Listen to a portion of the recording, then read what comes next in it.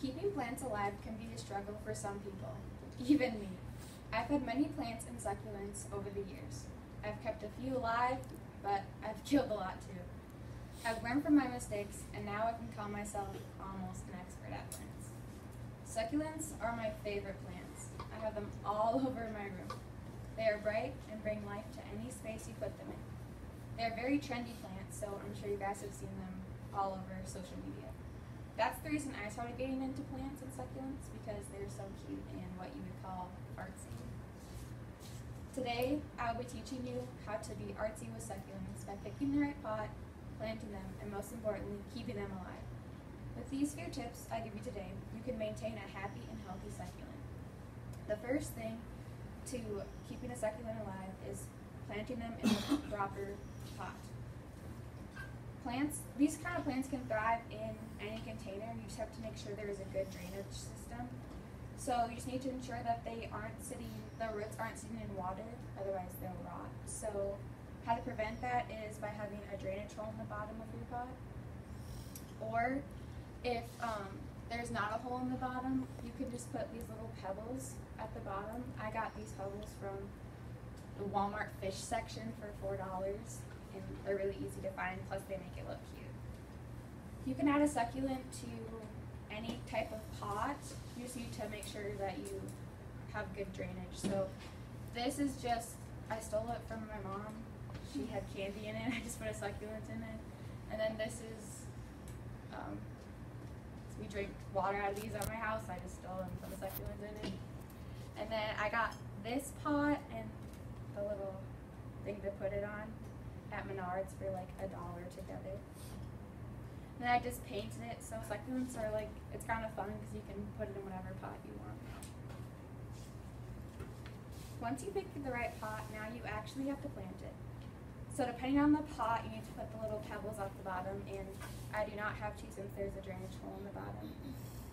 So the first thing I do is I take my soil and this is like specifically designed for succulents. You can get it at Walmart for a big bag for $5. So I'm just gonna add a little bit of this at the bottom.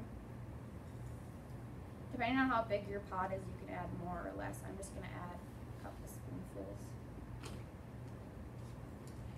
Then you have to take your succulent out of the pot. So you just kind of like ram your finger between the soil and the pot and you squeeze it and it should just come out in one piece.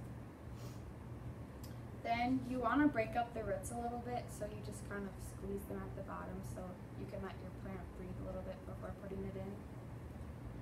Then you're just going to push it down and make sure that it's stable in there. Then you can just add more soil if you need it. So I'm going to add some to the edges.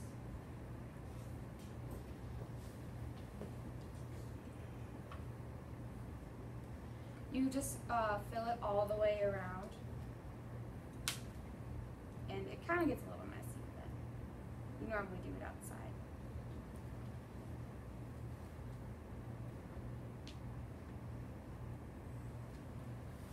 Um, this is pretty much it. If you want to stop there, you can, but on the top of them, I think it's really cute to add the pebbles. It doesn't really do anything, but it just looks cute, but I'm just going to leave it with just the soil.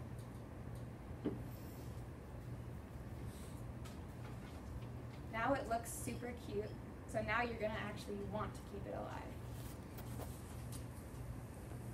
The great thing about succulents is that they only need to be watered about two times a week. I just add water when it is needed. So how you can tell if you need to water is if you press your finger in the soil, if it comes up with soil on it, then you're good. But if it doesn't, you just want to add some water. You just add it until the rule actually works. So when you actually press your finger on it, and it comes up with soil. If it has a, if it doesn't have a drainage hole, you are gonna want to add less water because um, the water does stay in the pot and it sits there. It takes longer for it to dry out. Um, so if it does have a drainage hole, you add, need to water it a little bit more. Another key part of a succulent is making sure it has a lot of sunlight. So in the they these can even like thrive in the winter if they're just in a room that has a lot of sun. So in my room, I put a ton on my windowsill, and I just make sure my curtains are open when I'm leaving. Or another good spot to put them is in your kitchen because there's always sun in there. That's where my mom keeps hers. We also have a bunch outside. They can pretty much thrive anywhere you want. Today, I taught you how to pick the right pot, plant a succulent, and keep it alive. I hope you learned everything you needed to know about succulents and that you will want to plant and keep them alive yourself. Thanks for being a great audience and for listening to my